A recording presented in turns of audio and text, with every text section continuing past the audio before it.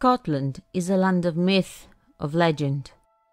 It has seen its fair share of triumph and tragedy, and in the course of its history has produced many a ghost. Settle in for the stories of three spectres that are said to haunt the great castle of Stirling. Stirling Castle is one of the largest and most important castles in Scotland, both historically and architecturally. The castle sits atop Castle Hill, a crag or rocky hill. It is surrounded on three sides by steep cliffs, giving it a strong defensive position. The first record of Stirling Castle dates from around 1110, when King Alexander I dedicated a chapel there. Later, King William I formed a deer park to the southwest of the castle, but after his capture by the English in 1174, he was forced to surrender several castles including Stirling and Edinburgh Castle, under the Treaty of Falaise. There is no evidence that the English actually occupied the castle, and it was formally handed back by Richard I of England in 1189. Our first ghost is that of a Highlander. Highlanders are folk who come from the Highlands of Scotland, the most remote and mountainous part of the country. The ghost of this man is said to be the most active in Stirling Castle. He has been seen by both staff and visitors alike, and his apparition usually appears wearing full traditional Highland costume, that of kilt and all. He has been mistaken on occasion for a tour guide, but when approached, he ignores the living, walks away, and disappears, no doubt shocking those who place eyes on him. He was, however, captured on camera. In 1935, during some preparation for building work at the castle, an architect snapped a picture of the spectre. The image has not been modified or tampered with, as he also appears on the original negative of the photograph. Our second ghost tale is that of the Green Lady. Our story begins in 1562. It is the year Mary, Queen of Scots, returned to Stirling and to Scotland after two decades' residence in France and following the death of her young husband, Francis, who was King of France. The Green Lady is believed to have been a serving girl who was hired by the Queen. She was a simple Highland lass, but she is said to have a special gift the power of foretelling, second sight. This beautiful maid had a premonition that if Queen Mary slept even one night within the castle walls, she would not live to see the sun rise. Filled with dread, the girl informed her mistress of her fears. Mary listened kindly, as she had developed a friendship with the maid. Mary agreed to allow the girl to watch over her as she slept. The queen also instructed the maid to alert the guards if any threat were to show itself. Mary trusted the people of Stirling, as they had fought hard to protect her against the advancing army of King Harry VIII when she was younger. Through the long dark night the maid sat, wrapped up and sitting in a soft chair, she watched over her monarch. Queen Mary fell into a deep sleep, as she had been exhausted after her long journey to Stirling.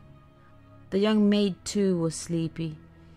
She twisted and turned, paced about the room with a terrible fear that she would slip into a slumber and leave her mistress open to some attack. Barring the door and lighting a taper candle, she placed it by the bedside, her idea being that if the queen were to wake during the night, she would not fear the darkness. The young maid sat by the candle, but its flickering put the girl into an almost trance-like state. She fought against the heaviness of her eyelids and the tiredness in her bones. Her mind started to work against her. What harm could come to Mary here, she thought.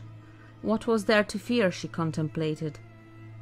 If she were to only close her eyes for a moment, just a moment, and that she did.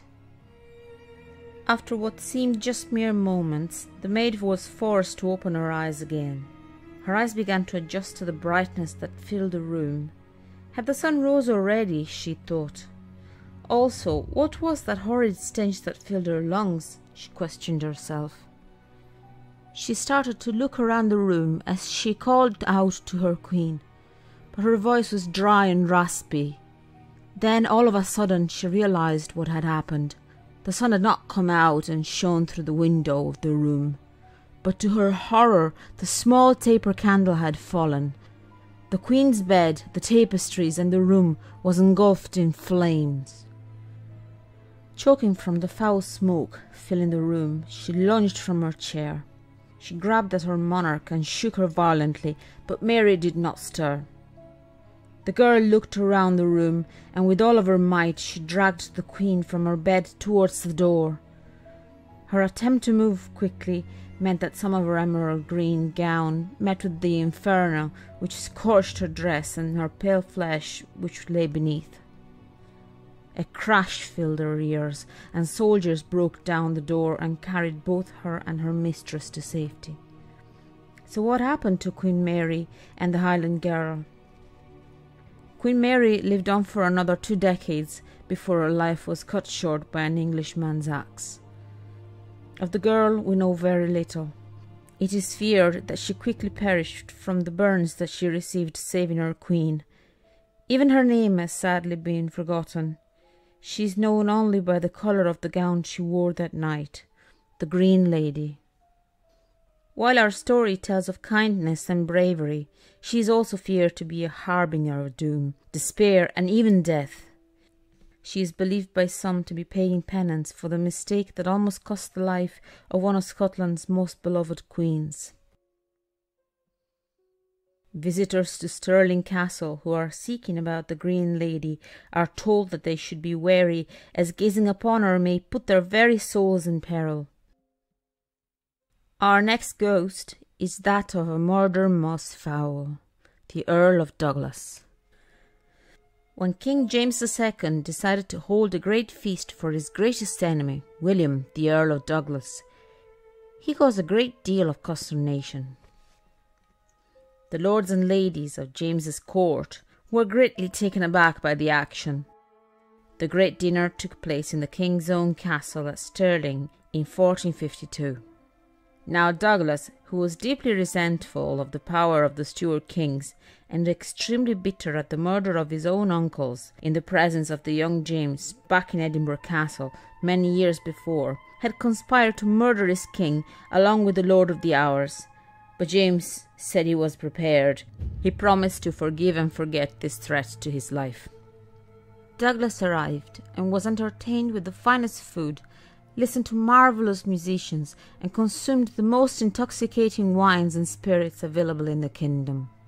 The king even begged the earl to become a friend to the crown. However, the earl refused and was more adamant in his opposition to James. The king, having had enough of diplomatic measures, resorted to a much cruder form of conflict resolution. He had the earl stabbed in through the neck with a halberd. To add insult to injury, the nobleman's body was then tossed out of the nearest window. The guests then returned to their feast. The Earl was buried before dawn in an unmarked tomb in the Douglas Gardens. It is said that he rises every night, demanding vengeance upon the king and his accomplices. Fate would have it that King James would not meet a horrid end at the ghostly hands of the Earl of Douglas, but instead be blown to pieces during the Battle of Roxburgh, when his own cannon, nicknamed the Lion, exploded. If you visit the Douglas Gardens, look out!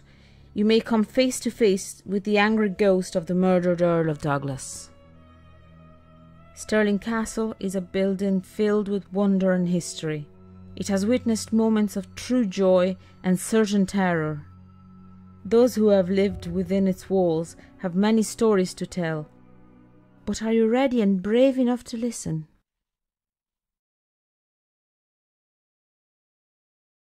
Why not subscribe to our YouTube channel for more spooky videos?